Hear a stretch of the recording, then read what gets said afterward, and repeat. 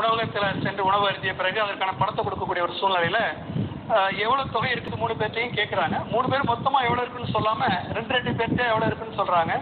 ரெண்டாவது மூணாவது நண்பர்கிட்ட இருக்கக்கூடிய தொகை அறுபது. அடுத்த ரெண்டு பேர்கிட்ட இருக்கக்கூடிய தொகை அதாவது மூணாவது முதலாவது நண்பர்கிட்ட இருக்கக்கூடிய தொகை வந்து பாத்தீங்கன்னா அறுபத்தைந்து. அடுத்து முதல் இரண்டு நண்பர்கிட்ட இருக்கக்கூடிய தொகை பாத்தீங்கன்னா எழுபத்தைந்து. இப்படி மூணு நண்பர்கள்ட்டையும் மொத்தமா எவ்வளவு தொகை இருக்குன்னு கேட்டா அப்படி சொல்லாம ரெண்டு ரெண்டு பேரா சொல்றாங்க. அறுபது அறுபத்தைந்து எழுபத்தைந்து. ஆனா இதை கவனிச்சுட்டு இருக்கக்கூடிய அந்த உணவை சப்ளை பண்ணக்கூடிய அந்த பரிமாறக்கூடியவர் வந்து கரெக்டா சொல்லிடுறாரு. மூணு பேர்ட்டையும் மொத்தமா எவ்வளவு தொகை இருக்குன்னு சொல்லிடுறாரு. எப்படி சொல்லியிருப்பார் என்பதுதான் புதிராக கேட்டிருந்தேன். அதற்கான விடை மூன்று தொகையை நீங்க முதல்ல கூட்டலாம். ரெண்டு ரெண்டு பேரா நீங்க கூட்டும் போது ஒவ்வொரு முறையும் ரெண்டு தடவை ஒவ்வொருத்தருடைய தொகையை ரெண்டு தடவை கூட்டிடுறீங்க. நீங்க ஒவ்வொருத்தருடைய தொகையை இரண்டு முறை கூட்டிடுறீங்க. இப்போ மூணு தொகையை நீங்க கூட்டினீங்கன்னு சொன்னா அறுபது அறுபத்தைந்து எழுபத்தைந்து. இதை மூணையும் நம்ம கூட்டி பார்க்கணும் இப்போ. நம்ம வந்து மூணு பேருடைய தொகையும் எக்ஸ் ஒய் இசட் அது போல நீங்க வச்சுக்கலாம். இரண்டாவது மூணாவது நபர்களுடைய தொகை வந்து அறுபது.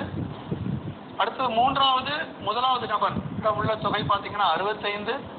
அடுத்து முதல் இரண்டு நபர்களுடைய தொகை பார்த்தீங்கன்னா எழுபத்தைந்து. இப்போ இது கூடுதல் நம்ம பார்க்க போகிறோம் ஐந்து ஐந்து கூட்டினா பத்து மீதம் ஒன்று. ஏழு ஒன்று எட்டு பதினான்கு இருபது. எனவே இந்த மூன்று தொகையை கூட்டினா இரநூறு வருது. இங்கே ஒவ்வொரு முறையும் ரெண்டு ரெண்டு தடவை கூட்டியிருக்கோம் நம்ம. ஆனால் இருமுறை வருது எல்லாமே. எனவே இந்த விட பார்த்தீங்கன்னு சொன்னா மூணு பேர்த்தையும் உள்ள தொகை வந்து நம்ம நூறு தான் வரும். ஏன்னா ஒவ்வொருத்தட்டையும் இரண்டு இரண்டு முறை நம்ம கூட்டுறதுனால உங்களுக்கு இரநூறு வருது. எனவே மூன்று நண்பரிடம் உள்ள மொத்த தொகையானது நூறு ரூபாய் மட்டுமே. எனவே முதல் நபருடைய தொகை வேணும்னு சொன்னா இந்த நூறு ரூபாயிலிருந்து அறுபதை கழிங்க நூறு ரூபாயில அறுபதை கழிச்சிட்டிங்கன்னா மிச்சம் நாற்பது ரூபா தான் முதல் நபரிடம் உள்ள தொகை. நூறு ரூபாயிலிருந்து அறுபத்தைந்து கழிங்க.